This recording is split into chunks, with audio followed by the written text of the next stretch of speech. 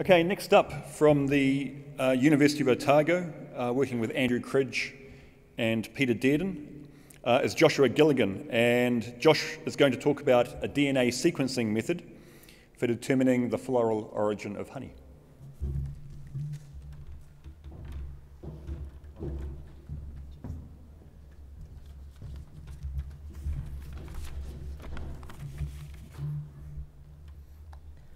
So hi everyone, I'm Josh from the Lab of Evolution and Development in the Biochemistry Department at the University of Otago, and that's what I'm going to talk about today up there.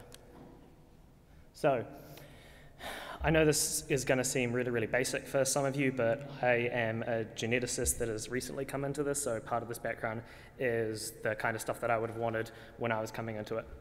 So, as you all know, honey is this incredibly important source of revenue for New Zealand. Um, each honey has its own uh, unique profile that is made up of that mix of nectar and pollen gathered by bees um, as these go on to contributing to its distinguishing characteristics. Um, furthermore, if these characteristics are in enough quantity, that can kind of govern where it's labeled as either monofloral or multifloral. Over the years, consumer demand has increased for a lot of these monofloral varieties, especially in New Zealand because of those, some of those health benefits like Manuka, um, and leaning into these monofloral demands for a lot of these um, products is going to help increase um, all of our consumer satisfaction and also knowing what plants uh, have been used to make honey, and being able to scientifically back that up is going to be really, really good for your marketing and to try and say, hey, this is it, and I can prove that it's specifically from this. So, how do we go about determining how, uh, what plants have actually been used for honey? So, the old way is with this melissopalynology, and it's basically you get the honey, you take pollen from it, you look at it down a microscope, and then you try and define it on its physical characteristics like its shape and size and color.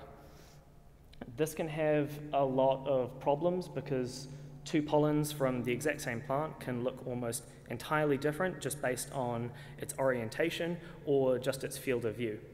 Um, and because of this, uh, a lot of expert analysis is needed to properly identify these, and even that has its own um, innate problems with human error. So here's some pollen under an electron microscope to give a, a bit more resolution on it. And here are a couple of pollens um, that are often commonly misidentified as each other and the associated cost if they were a monofloral variety. Um, so as you can see, this is under an electron microscope. From a normal microscope, it would be really, really hard for your average person to do this, and that's going to increase cost of trying to um, do this. Another way to go about this is through DNA sequencing, and all these DNA technologies have become a lot more frequent over the years. Um, and I'm just going to go through the basics of it so we're all on the same page. So you get a sample, you take out all of that DNA, you amplify it for um, specific markers, then you can go to an online resource and assign it to plants on those resources, and then look at the ratios of them, and then overall quantify how much of each plant was used to make that specific one. To take a look at this um, just from a, a very broad um, approach of the workflow for DNA technologies, you get your sample, you extract it to pull out that DNA, sequence it, and then analysis. The extraction step of this is really, really difficult because pollen has this incredibly um, durable structure. It's evolved to survive droughts, it's evolved to survive forest fires. Um, it does this by this really, really um, dense network of cellulose fibers interconnected with each other, and it's that durability from that that makes it really hard to pull DNA out of. And that means that traditional DNA extractions often end up being quite long, rely on harmful chemicals or um, irritating mechanical lysis methods, and they're really hard to adapt to automated um, services.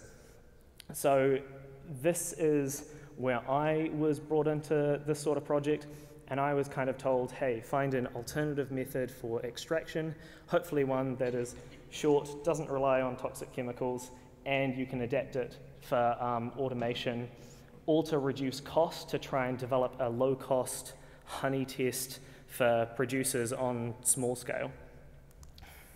So after a lot of trial and error, we came across this compound, 4-methylmorpholine N oxide monohydrate. That's really hard to say, I've practiced so much. Um, so we're just going to refer to it as MNNO. We came across this by collaboration with the Brownfield Lab um, in Otago, as they also work on a lot of pollen-based stuff.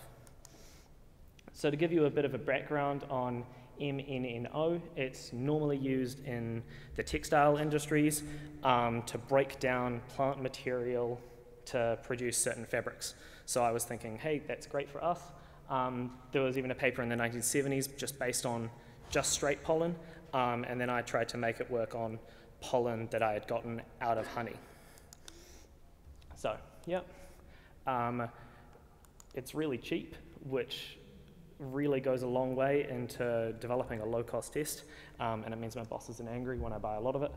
Um, and through a lot of trialing, it, um, we came across uh, quite an easy extraction method, which is basically just you have this pollen, you add this reagent to it, and then you add heat and just wait, and that's it. So here it is actually being used on some samples. Over here is just some clover um, monofloral varieties that I bought from the supermarket, and here is um, from one of those traditional kind of lysis methods. It's really early days for this method, and we haven't got any DNA sequencing back from it yet. Um, but we are intending on doing that later in the year just to make sure that there's no inherent biases towards certain types of pollen that's going to end up um, inhibiting things down the line. Because this extraction is so simple, it means that you can do it um, in an automated way. And in the lab, we've got this, which is our um, liquid handling robot. He's got a couple of these silver things, two here and one down the back, which are basically just heat pads. So he can do 396 samples at once, which is way more than I can do by hand. And this really goes a long way to starting to reduce cost for developing this um, test. This method also doesn't use as much starting material as a lot of other stuff. The actual um, compound itself is a lot safer, doesn't produce any noxious fumes, and um, can be done in this automated way. So in summary, honey flora origins is really, really important for both producers and consumers. The only way to verify this is through pollen identification. Um, and the easier we can do this in the lab goes further into trying to make a test that is a lot um, more applicable to you guys. Overall, this method goes to show that there are cheaper and um, safer methods out there, and we've got a long way to go um, in trying to get a low-cost test for all of you. Thanks for all these people for contributing to the work before I got here and for some funding. Thanks. Any questions?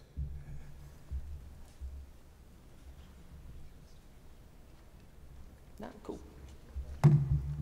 Um, how are you going to account for the um, the the rewarewas and the tawaris, which got very poor pollen production, as opposed to a Kānuka or a clover lotus, which got really high levels of pollen in their honey? I think that would have to go into the more analysis side of it and kind of look at what ends up going for um, being representational for that based on traditional pollen counts by experts from honeys made by those to try and compare it and say, oh, if there's only this amount of pollen, but we know that this amount of pollen is um, actually means that it was used this much, we can just put that into the analysis step to go forward and do it that way.